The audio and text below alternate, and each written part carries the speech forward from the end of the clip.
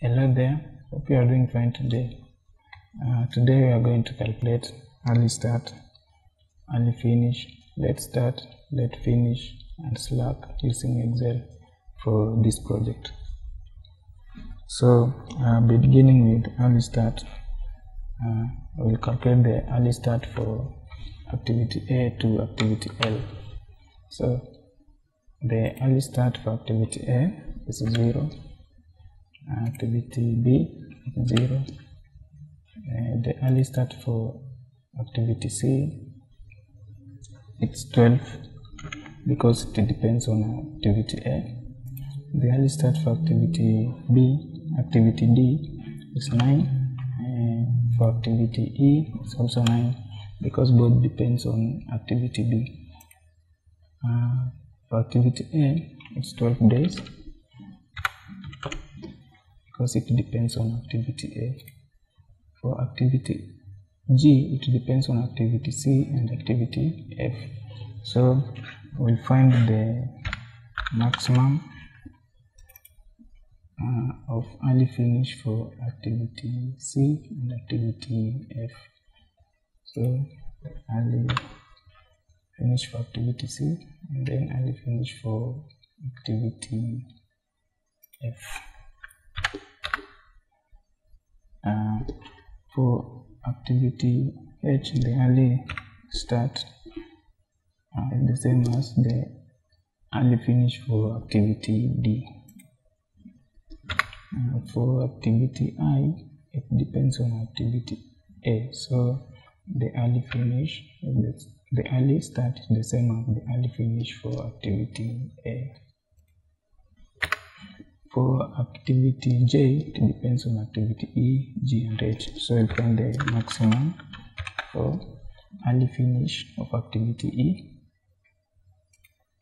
or activity G, or activity H. And for activity K, we find the maximum of activity the, we find the maximum of early finish for activity F. Uh, for activity I or for activity J.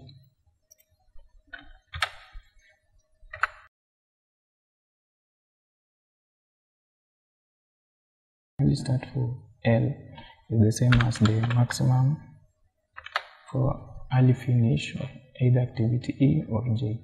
So there is activity E and activity J. Okay, so uh, early finish is the same as find the sum of estimated time and early start the early finish.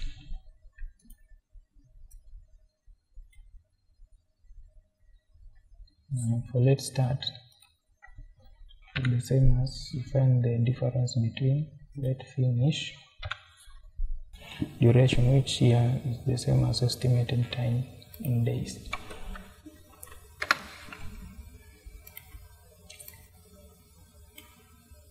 Late finish for activity a uh, is equals to the minimum of for all activities that depends on A. So in this case, activity C, activity F, and activity I.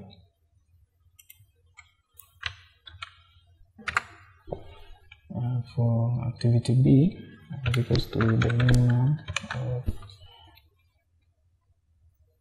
activity D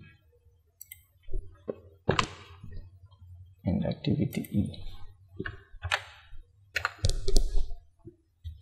For activity C, so we find that activity G is the only activity that depends on C.